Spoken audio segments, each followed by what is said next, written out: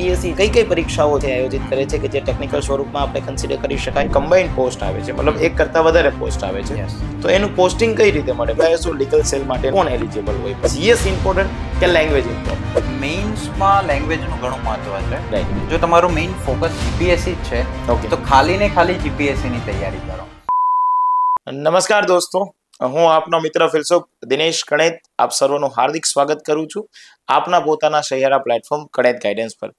દોસ્તો શનિવારનો દિવસ છે. સાંજે નવ વાગ્યાના જે છે એ ટકોરે ફરી એક વખત જે છે એ અલગ અલગ જે છે સરકારી કર્મચારી અધિકારીઓને આપના સમક્ષ જે છે એ આપણે પોડકાસ્ટના માધ્યમથી લાવતા હોય છે.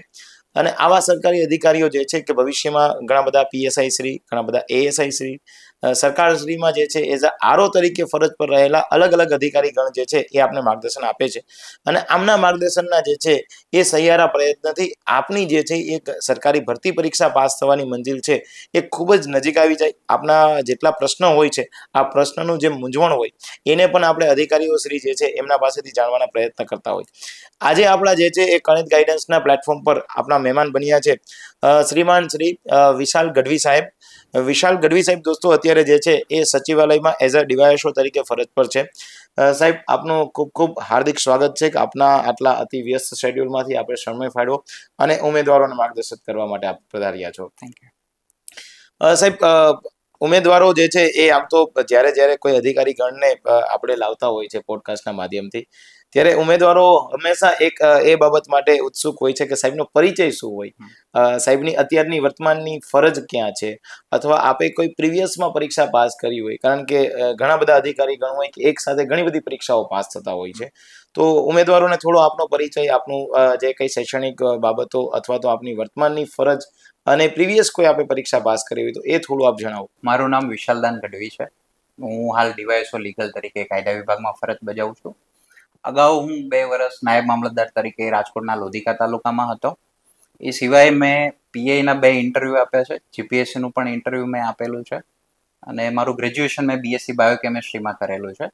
અને એલએલબી મેં I M Nanavati law college જીએલએસમાંથી કરેલું છે. ઓકે અચ્છા એટલે સાહેબ આપ જીએલએસમાંથી પાસ આઉટ થયેલા યસ યસ ઘણા ટાઈમ પછી મને એક મિત્ર એસ્પિરન્ટ કે અધિકારી મળ્યા છે જ્યાંથી હું પાસ આઉટ થયેલો છું.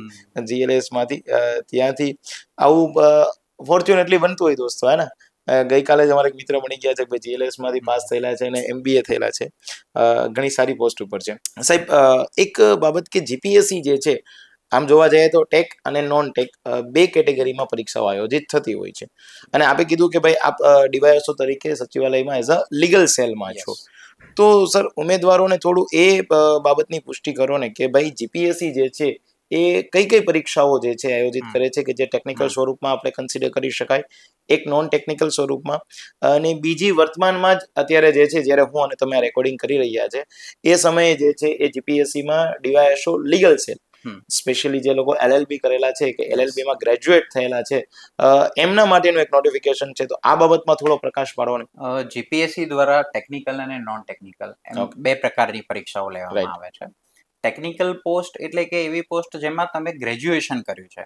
એ ગ્રેજ્યુએશનના બેઝ ઉપર તમારી કોઈ પરીક્ષા લેવાય છે. જેમ કે તમે મિકેનિકલ એન્જિનિયરિંગ કર્યું છે કે સિવિલ એન્જિનિયરિંગ કર્યું છે. એના બેઝડ ઉપર અસિસ્ટન્ટ એન્જિનિયર એક્ઝિક્યુટિવ એન્જિનિયર આ બધી ભરતીઓ આવતી હોય છે. તો એ બધી ટેકનિકલમાં થઈ જશે. એ સિવાય તમારું ગ્રેજ્યુએશન ધારો કે બાયોકેમિસ્ટ્રી માઇક્રોબાયોલોજી આ બધા. સબ્જેક્ટ ઉપર હોય તો સાયન્ટિફિક ઓફિસરની બી જગ્યાઓ Right, હોય છે. આ સિવાય બીજી બી ઘણી ટેકનિકલ અલગ અલગ. આવતી હોય જેમ કે એલએલબી બેઝડ ઉપર રિસન્ટલી ડીવાયએસઓ લીગલની પરીક્ષા આવી છે હું પણ ડીવાયએસઓ લીગલ તરીકે જ ફરજ બજાવું છું. ઓકે તો એ એલએલબી બેઝડ ઉપર છે તો સ્પેશિયલાઇઝ્ડ ટેકનિકલ પોસ્ટ હોય છે અને એના ઉપર સરકાર ભરતી કરતી હોય છે. એ સિવાય જે નોન ટેકનિકલ હોય છે એમાં તો જનરલ જે જીપીએસસી ક્લાસ વન ટુ ની પરીક્ષા આવે છે. આ સિવાય પીઆઈ ની આવતી હોય છે. એસટીઆઈ છે એ પણ જનરલી ગ્રેજ્યુએશન બેઝડ ઉપર છે તો આ બધી જે છે એ નોન ટેકનિકલ થઈ જાય છે. તો આવી રીતે બે પ્રકાર પડે છે એટલે જે સર. આપણે ત્યાં આરએફઓ છે. Range forest officer. એસીએફનું હમણાં જ રિઝલ્ટ જાહેર થયું આપણે ધ્યાનમાં છે.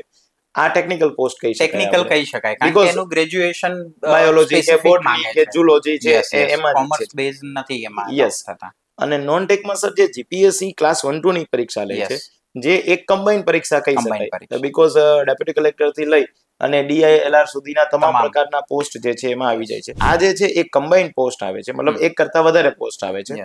તો એનું પોસ્ટિંગ કઈ રીતે મળે? મતલબ કે ઉમેદવારે એમની ચોઈસ આપવાની હોય કે પછી સરકાર સરકારશ્રી યાની કે જીપીએસસી એમના માધ્યમથી જ આપી દેતી હોય એ થોડી બાબતમાં પ્રકાશ પાડો. જ્યારે મેઇન્સનું ફોર્મ ભરાય આ પરીક્ષામાં ઓકે. મેઇન્સના ફોર્મ વખતે તમારી પાસે પ્રેફરન્સ માંગવામાં આવે. ઓકે. તમે પહેલો પ્રેફરન્સ કોને આપવા માંગો છો? બીજો પ્રેફરન્સ કયો છે તમારો? એવી રીતે સિક્વન્સમાં એક પ્રેફરન્સ આપવાનો ઓકે. એ તમે જે પ્રેફરન્સ આપશો તમારા મેરિટના આધારે એ પ્રેફરન્સના બેઝડ ઉપર તમને સિલેક્શન પોસ્ટ મળશે. રાઈટ અને એના આધારે જીપીએસસી સરકારને રેકમેન્ડ કરશે ને સરકાર પોસ્ટિંગ આપશે. ઓકે એટલે પ્રેફરન્સ તમારે સિલેક્ટ કરવાનો હોય મેઇન્સ વખતે ઓકે એટલે મતલબ જે મલ્ટિપલ એક્ઝામ હોય જેમ યુપીએસસી માં કેડર પસંદ કેડર પસંદ પડે છે એવી રીતે જીપીએસસી માં જે તે વખતની પોસ્ટ પસંદ કરવાની. બીજું સર આપે ટેક કીધું આપ નોન ટેક કીધું વર્તમાનમાં જે છે એ ડીવાયએસઓ લીગલ સેલ માટેના જે છે એપ્લિકેશન જીપીએસસી ની ઓફિશિયલ વેબસાઇટ જીપીએસસી ઓજસ પર થાય છે. સર આ પોસ્ટમાં કોણ એલિજિબલ હોય? મતલબ કે ડીવાયએસઓ પેલી જે જનરલ આવે છે એમાં એની ગ્રેજ્યુએટ છે.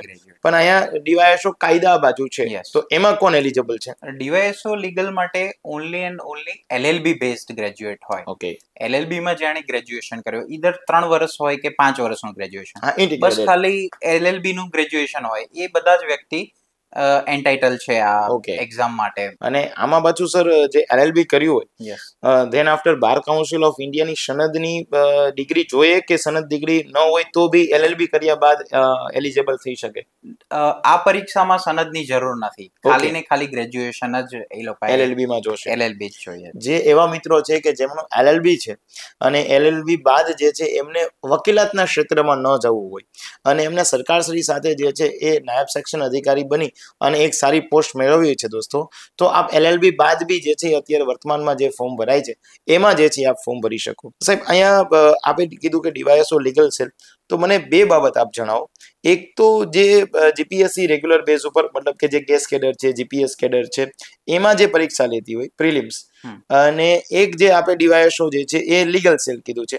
આની પ્રિલિમ્સ માટે ઉમેદવારો માટે પાસ કરવું હોય.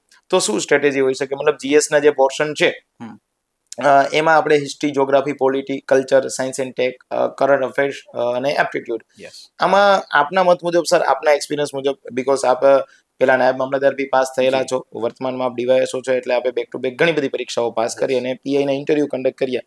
તો સર આ બધી પરીક્ષાના પ્રિલિમ્સ તો આપણે પાસ કરી જ છે. તો આના માટે એક એસ્પિરન્ટ તરીકે ઉમેદવારોને સારો સંદેશો કઈ? પ્રિલિમ્સ માટે હું એવું કહીશ કે તમે ટેકનિકલ એક્ઝામ આપો છો કે નોન ટેકનિકલ ઓકે. એનો તમે પહેલા સિલેબસ ડાઉનલોડ કરો. સિલેબસ પ્રિન્ટ કરીને એમાં તમે જુઓ કે કયા કયા ટોપિક છે. સાહેબે વાત કરી એવી રીતે હિસ્ટ્રી કલ્ચર જોગ્રાફી ઓકે. એ ટોપિક વાઇઝ દરેક એક બુક કરો. અને જે ટેકનિકલ પોસ્ટ છે એમાં જે જે સિલેબસમાં આપ્યા છે જેમ કે હાલ ડીવાયસો લીગલની આવી છે તો એમાં સીપીસી થઈ ગયું છે અને એવી રીતે જે પણ કાયદાઓ એમાં સિલેબસમાં હશે એને ટોપિક વાઇઝ તમે જાઓ અને એને પ્રિપેર કરો. એ પ્રિપેર કર્યા પછી સૌથી મેઇન મને એવું લાગે છે પ્રિલિમ્સ માટે છે મોક ટેસ્ટ તમે જે જેટલી વધારે મોક ટેસ્ટ આપશો એટલું તમને ચાન્સીસ વધારે છે પ્રિલિમ્સ પાસ કરવાના. મોક ટેસ્ટ આપીને તમે ઇવેલ્યુએટ કરો કે તમારે કયા સેક્શનમાં વધારે માર્ક આવે છે કયા સેક્શનમાં તમારે ઓછા માર્ક આવે છે. જે સેક્શનમાં તમારે ઓછા માર્ક આવતા હોય એ સેક્શનમાં તમે વધારે પ્રિપેર કરો. ઓકે જેમાં તમારે વધારે માર્ક આવે છે મોક ટેસ્ટ માટે. તો એ તમારો કોર સબ્જેક્ટ છે. તો એ જે સ્ટ્રોંગ સબ્જેક્ટ છે એને તો સ્ટ્રોંગ રહેવા જ દો. જે તમારો વીક સબ્જેક્ટ છે એને પણ તમે સ્ટ્રોંગ બનાવો. રાઈટ સર આપણે એક મોક ટેસ્ટની વાત કરી. મોક ટેસ્ટની સાથે સાથે પીવાયક્યુ એઝ અ એસ્પિરન્ટ તરીકે કેટલા ઉપયોગી નીવડે એમને પરીક્ષા માટે? ડેફિનેટલી પીવાયક્યુ જે છે એ આપણને એક બેઝ આપે છે કે પીએસસી કેવા પ્રકારના ક્વેશ્ચનો પૂછી રહી યસ છે યસ આન્સર કી છે? યસ આન્સર્સ કેવી રીતના સેટ કરે છે? યસ એનો પણ એક તમને આઈડિયોલોજી ખ્યાલ આવે. એટલે. પ્રિલિમ્સ જે પીવાયક્યુ ક્વેશ્ચન્સ છે યસ એ તો તમે સોલ્વ કરો જ. એની સાથે સાથે તમે જે સ્ટડી મટીરિયલ છે એમાંથી તમે જેમાંથી વાંચો છો એ રેગ્યુલર કરો. અને બે ત્રણ મોક ટેસ્ટ જોઈન કરો. એટલે એનાથી તમને બેનિફિટ રહેશે. માની લઈએ કે કોઈ વ્યક્તિ જે એની ગ્રેજ્યુએટ બેઝ પોસ્ટ આવતી હોય છે. એની પ્રિપેરેશન કરતા હોય તો એમાં જે ટેકનિકલ પરીક્ષાઓ લેવાતી હોય. ફોર એક્ઝામ્પલ તરીકે આસિસ્ટન્ટ એન્જિનિયર સિવિલની એક્ઝામ કન્ડક્ટ થઈ. તો એમાં બટ ઓબ્વિયસ છે કે જેવી રીતે લીગલ સેલ છે તો. બસો માર્કનું પેપર હોય લીગલ સેલમાં ફોર એન એક્ઝામ્પલ તો સો માર્કનું જીએસ અને સો માર્કનું જે છે એ જે ઓરિએન્ટેડ જે છે પોસ્ટ ઓરિએન્ટેડ તો એના જે પેપરમાં ક્વેશ્ચન જીએસ ના પૂછાતા હોય. એ આજે એની ગ્રેજ્યુએટ પોસ્ટ આવતી હોય એમાં ઉપયોગી નીવડે સર એ વાંચવા જોઈએ હું તો જરૂરથી કહીશ કારણ કે. જીએસ જ છે સિલેબસ બી સેમ છે. એક્ઝેક્ટલી એટલે ક્યાંક ને ક્યાંક નીવડે મદદરૂપ થાય. ઓકે પણ બેઠા ને બેઠા ક્વેશ્ચન આવી જાય એની પોસિબિલિટી આપણે કંઈ નક્કી ના કહી શકીએ એ બાબત ઉપર. પણ એક એની આઈડિયોલોજી આઈડિયોલોજી આપણને ખ્યાલ આવે ભાઈ ફોર એન કેવા ક્વેશ્ચન યસ કે ભાઈ હિસ્ટ્રી છે. તો માની લે કે હિસ્ટ્રીમાં સર અઢારસો ને સત્તાવન નો વિપ્લવ છે. Yes. અઢારસો ને સત્તાવન ના વિપ્લવમાં એઝ અ સ્ટુડન્ટ શું કરતો હોય કે ભાઈ એમના રીઝન જાણે છે. હા. ડેફિનેટલી જાણવા જોઈએ. કે ભાઈ અઢારસો સત્તાવન નો વિપ્લવ દેશનો પહેલો વિપ્લવ છે. એના સામાજિક કારણો છે આર્થિક કારણો છે વહીવટી કારણો છે. લશ્કરી કારણો છે. ઉમેદવારે આ તમામ બાબતો જોઈ લીધી. એ ચલો એમને મેન્સમાં કદાચ ઉપયોગ બી નહીં પણ હવે એક ઉમેદવારને એવો ક્વેશ્ચન હોય કે ભાઈ એક રીઝન એવું બી છે અઢારસો સત્તાવન માટેનું કે ભાઈ લશ્કર બાબતનો થોડો અસંતોષ હતો. બીકોઝ જે ભારતીય વ્યક્તિઓ હતા એ એકદમ નીચલા પદ ઉપર હતા અને અંગ્રેજ જે શાસકો હતા એ એક ઉચ્ચ કોટીની પદ ધરાવતા હતા. તો આમાં સર એક બાબત એ બી ઉમેદવારોએ જોવી પડે કે ભાઈ સેના જે છે એમાં ભારતના વ્યક્તિઓ જ્યારે અપોઇન્ટ થતા હતા એમને દરિયાઈ પાર જવું પડતું હતું. અને આપણા માટે દરિયાઈ પાર જવું એટલે ત્યારની માનસિકતા એવી હતી કે એક પ્રકારે ધર્મ ભ્રષ્ટ થયો હા. તો આ વસ્તુ દરેકને ખ્યાલ છે. પણ સર એક જીપીએસસી એ ક્વેશ્ચન પૂછ્યો કે લશ્કરની ભરતી દરમિયાન અઢારસો ને સત્તાવન નો વિપ્લવ થયો. એનું એક રીઝન એ બી હતું કારણ કે સેના ભરતી અધિનિયમ અઢારસો ને પચાસ લાવવામાં આવ્યો અને એમાં એક બોન્ડ સાઇન કરાવતા હતા તમારે અન્ય રાષ્ટ્રમાં જવું પડશે. હા. હવે જો આ એક ઉમેદવારને ખ્યાલ આવે હા. તો પછી એની પ્રિલિમ્સ પરીક્ષા સારી રીતે નીકળી શકે. સો ટકા સો ટકા. સાહેબે જે ક્વેશ્ચન વાત કરી એમાં જ અઢારસો સત્તાવન ઓલી જૂની પિસ્તોલ બંદૂક rifle. rifle હા. એ રાઇફલ વાળો ક્વેશ્ચન બી પૂછાયો છે Definitely, જીપીએસસી માં એટલે મતલબ એક આઈડિયોલોજી જો એમની ડેપ્થ અને બ્રીફમાં થોડીક આઈડિયા આવે દોસ્તો. બીકોઝ લોકોને સર એવી માનસિકતા હોય કે જીકે જીકે જીકે નો પોર્શન વાંચ્યા કરે. ધેટ્સ વાય કે થાય શું કે ઉમેદવારોના મગજમાં ક્વેશ્ચન થાય સર અમે એક્ઝામ આપવા જાય ત્યારે અમે વાંચ્યું છે એવું તો કઈ પૂછાતું નથી. બટ એના જવાબદાર આપણે જ છે. હા. બીકોઝ આપણે બહુ નીચું નીચું મતલબ કે જે બેઝ લેવલનું વાંચીએ છીએ જે ડેફ્થ ડેપ્થ કન્ટેન્ટ આપણે વાંચવા નથી જતા. એટલે દોસ્તો સરના માધ્યમથી હું આપણે કહીશ કે થોડું ડેપ્થ વાળું કન્ટેન્ટ હશે તો ડેફિનેટલી બીજા વ્યક્તિઓ કરતા જે છે એ આપણે સારું પરફોર્મન્સ અથવા તો સારા મેરિટમાં આવી શકશું.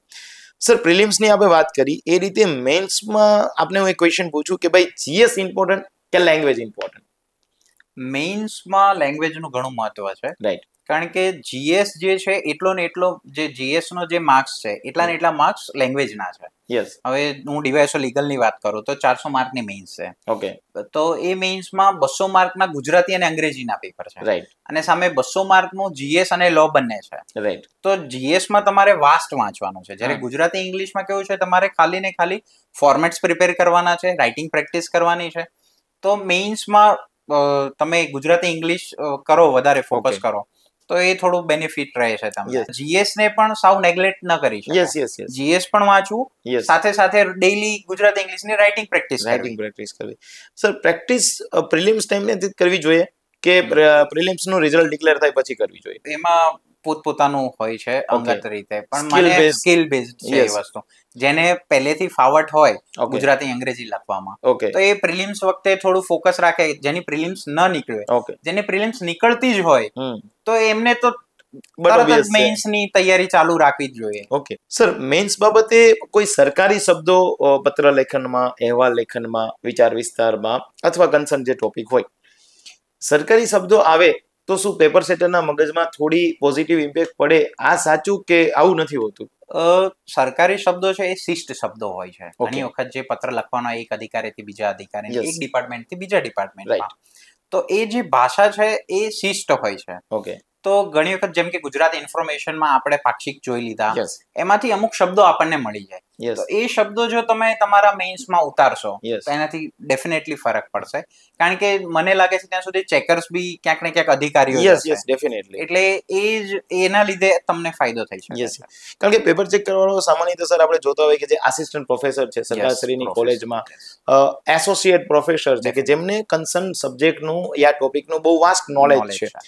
એટલે જો અને એ વ્યક્તિએ વટ ઓબિયસ છે કે ભાઈ ગેજેટેડ ઓફિસર હોવાના નાતે ક્યાંક ને ક્યાંક એને અન્ય અધિકારી ગણ સાથે યા ચૂંટણીમાં સરકારશ્રીની યોજનાઓનો લાભ લેવા માટે થઈ કોરસ્પોન્ડન્ટ કરવાનું થતું હોય. તો જો એઝ અ ઉમેદવાર તરીકે દોસ્તો આવા સરકારી શબ્દો જો આપની પાસે આવી જાય આપના મેન્સ રાઇટિંગમાં તો એ વ્યક્તિ તરત જ જે બાયફર્કેટ થઈ જશે કે સોનામાં સુહાગન પડી જશે. એટલે સરના માધ્યમથી દોસ્તો હું આપને એ બી કહીશ કે ભાઈ જ્યાં સુધી આપના સરકારી શબ્દો જો ના આવે તો ચિંતા નથી પણ આવશે તો બહુ પોઝિટિવ ઇફેક્ટ પડશે. સર બીજું ડીવાયએસઓ પોસ્ટ ડેફિનેટલી સચિવાલય કેડરની છે. પબ્લિક સાથે ડીલિંગ જે છે સામાન્ય છે જેમ નાયબ મામલતદારને છે એમ એમ ને નથી. પણ એક ઉમેદવાર લીગલ સેલમાં શો બને યા એની ગ્રેજ્યુએટ બેઝ ઉપર સામાન્ય જે ભરતી આવે છે એમાં તો એના માટે લોકોને શું ફાયદો થાય? મતલબ લોકોને શું મદદ કરી શકે? ડીવાયએસઓ તરીકે તમારે જે મેઇન સચિવાલયનું મૂળ કામ છે સચિવાલય છે પોલિસી ડિસિઝનનું કામ ઓકે એટલે પોલિસી ફોર્મેશનમાં જે પણ ફાઇલો રૂટ થાય છે મૂળ પાયામાંથી ડીવાયએસઓ ફાઇલ પુટઅપ કરતો હોય છે. ઓકે એ નોટિંગ મૂકશે ત્યાંથી છેક નોટિંગ સેક્રેટરી સુધી જતો હોય છે અમુક વખત મંત્રી સુધી પણ જતો હોય ડેફિનેટલી એટલે આ જે પોલિસી ડિસિઝનમાં જે ડીવાયએસઓ નોટ મૂકતા હોય છે ઓકે તો એ નોટનું ઘણું મહત્વ રહેલું છે. એના ઉપર જ તે આગળ સચિવ શ્રી કે મંત્રી શ્રી કે બધા રિમાર્ક્સ મૂકતા હોય છે. એટલે તમે અહીંયા એક પોલિસીમાં ભાગ બનો છો. કોઈ યોજના થઈ ગઈ તો એ યોજનામાં કોને લાભ આપવો શું લાભ આપવો? તો આ બધી બાબત છે એ પાયારૂપ અધિકારીઓ સરકારમાં બધે મંત્રીઓ બધી ચર્ચા તો થતી જ હોય. પણ છેલ્લે મૂકવાનું જ્યારે આવે છે ત્યારે ડિવાઇસો મૂકતા હોય છે. ઓકે એટલે એ વખતે તમે આવી રીતે મદદરૂપ થઈ શકો છો પ્રજાને. ડાયરેક્ટ મદદ નહીં થઈ શકે. પણ ઇનડાયરેક્ટલી ડેફિનેટલી એ ક્યાંક ને ક્યાંક એમાં એંગેજ થયેલો જ વ્યક્તિ છે. અને સર એઝ અ માની લો કે કોઈ મહિલા ઉમેદવાર પ્રિપરેશન કરતા હોય તો એના માટે મારા મત મુજબ ડીવાયએસઓની પોસ્ટ બેસ્ટ રહેશે બેસ્ટ રહેશે એનું રીઝન કે મતલબ કે આ નોન ટ્રાન્સફરેબલ. થશે નાયબ અમલદારમાં તો થઈ શકે કે ભાઈ લોધિકાથી જસદળ મૂકીને. જસદળથી કદાચ પંચમહાલ જવાનું થાય પણ આમાં એવું નહીં થાય આમાં ઇન્ટર ડિપાર્ટમેન્ટ સાહેબ ચેન્જ થઈ શકતું હશે ડીવાયએસઓમાં કે ભાઈ નાણા વિભાગમાંથી કોઈ વ્યક્તિ પંચાયતમાં જાય પંચાયતમાં. પંચાયતમાંથી મહિલા બાળ વિકાસમાં. એટલે આપમાંથી જે કોઈ એવા ઉમેદવારો છે કે જેમને એક જગ્યાએ સ્થાયી થવું છે. ગાંધીનગર એમની રિક્રુટમેન્ટ બી ગાંધીનગર. અને રિટાયરમેન્ટ બી ગાંધીનગર છે. એટલે બે આર તમારા ગાંધીનગરમાં જ રહેવાના છે. સર બીજું આપના એઝ અ ડિવાયસો તરીકેના અથવા તો આપની જે પ્રીવિયસ જે ફરજ રહી છે નાયબ મામલતદાર તરીકેની એમાં સર કોઈ આપના એક્સપિરિયન્સ શેરિંગ હોય કે જે આપ ઉમેદવાર સાથે ચર્ચા કરવા ઈચ્છતા હોય? નાયબ મામલતદાર તરીકે જ્યારે હું લુધિકા તાલુકામાં હતો તો મારી પોસ્ટિંગ થઈ એના થોડા સમયમાં તે કોરોના આવી ગયો. ઓકે એ કોરોના ફેઝમાં ઘણા બધા મજૂરો હતા જેમને વતન પરત જવાનું હતું સરકારે ટ્રેનોનું આયોજન કર્યું યસ યસ એટલે એ વખતે પોલીસ ડિપાર્ટમેન્ટ છે મેડિકલ ડિપાર્ટમેન્ટ એ તો કામ કરતું જ હતું. ઓકે પણ રેવન્યુ ડિપાર્ટમેન્ટ પણ કામ કરતું હતું. અને એ વખતે જે બસમાં અમે મજૂરોને બેસાડીને છેક રેલવે સ્ટેશન સુધી લઈ જતા અને ત્યાંથી પછી રેલવેથી એમને એમના વતન મોકલતા યુપી છે બિહાર છે એવી રીતે. તો એ ખરેખર ખૂબ સારો અનુભવ હતો અને મને થયું કે ખરેખર કંઈક સેવા કરવા મળે. ઓકે મતલબ બીકોઝ દરેક વખતે લાઈફમાં સર નાણાકીય મહત્વ જ નથી હોતું. ક્યારેક સામાજિક અને નૈતિકતાનું મૂલ્ય બી હોય છે. હોય છે. અને જીપીએસસી હંમેશા નૈતિકતા અને જાહેર વહીવટ સુશાસન ઉપર ક્વેશ્ચન બી પૂછતી હોય છે. એ પ્રેક્ટિકલ લેંગ્વેજ ના જ પૂછતી હોય છે. સર બીજું કે જીપીએસસી ની જે તૈયારી કરનાર એસ્પિરન્ટ છે સ્પેશિયલી જીપીએસસીની પ્રિપેરેશન કરે છે. આમના માટે આપના તરફથી કંઈક સારો જે છે સંદેશો પાઠવી શકાય એવી કોઈ બાબતો? જે ખાલી ને ખાલી જીપીએસસી ની તૈયારી કરે છે એમને હું એટલું કહીશ કે ઘણી બધી ભરતીઓ આવતી હોય છે. જો તમારું મેઇન ફોકસ જીપીએસસી જ છે તો ખાલી ને ખાલી જીપીએસસી ની તૈયારી કરો. પછી તમે કોઈ બીજી એક્ઝામ પાસ કરીને તમે એમાં જો નોકરીએ લાગી જશો તો પછી તમે જીપીએસસી કરવું થોડુંક અઘરું રહેશે. રાઈટ રાઈટ અને એક વખત તમે ફેલ થયા બીજી વખત ફેલ થયા. તમે પરસિસ્ટન્સ રાખશો એટલે તમે પાસ થવાના જ છો. ઓકે તમે દરેક વખતે જ્યારે તમે ફેલ થાવ છો ત્યારે તમે એ ભૂલને જુઓ કે આમાં તમે શું મિસ્ટેક કરી ઓકે કયા વીક સબ્જેક્ટમાં તમે વીક છો. પ્રિલિમ્સમાં વીક છો? મેઇન્સમાં વીક છો? ક્યાં તમને તકલીફ પડે છે? ઓકે તો એને તમે સ્ટ્રોંગ કરી એમાં સુધારો કરીને તમે ફરી ફરી આપતા રહેશો તો ડેફિનેટલી તમે જીપીએસસી પાસ ક્યારે આપની લાઈફમાં જ્યારે આપ એસ્પિરન્ટ હતા ત્યારે એવું થયું કે ભાઈ તૈયારી છોડી દેવી છે અથવા તો આપણાથી નહીં થઈ શકે. હું કઈ કોર્પોરેટ જોબ કરી લઉં એલએલબી કરેલો છું તો ચલો વકીલાત ચાલુ કરી દઉં. આવી કોઈ બાબત આવી છે અને આવી બાબતમાંથી બહાર નીકળવા માટે થઈ અને આપના શું પ્રયત્ન હતા? મેં જ્યારે તૈયારી કરી ત્યારે મેં નક્કી કરીને જ કર્યું હતું કે મારે સરકારી નોકરી જ લેવાની. છે. મેં ગ્રેજ્યુએશન કર્યું એ બી મેં ગ્રેજ્યુએશન ખાલી મેં કીધું એક વખત પતી જાય પછી તૈયારી ચાલુ થાય. ઓકે એલએલબી પણ મેં એટલે જ કર્યું કે જ્યારે સરકારમાં હું આવીશ ઓકે તો એલએલબી નો મને ક્યાંક ફાયદો થશે. ઓકે એટલે એલએલબી એ જ પર્પઝથી મેં કર્યું એટલે મારે કોઈ થર્ડ ઓપ્શન એ સેકન્ડ ઓપ્શન હતો જ નહીં.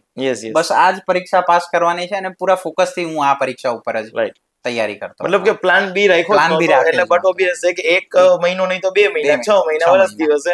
પણ પ્લાન એ જે છે આપણે ગોલ ને ફૂલફિલ કરી દઈશું.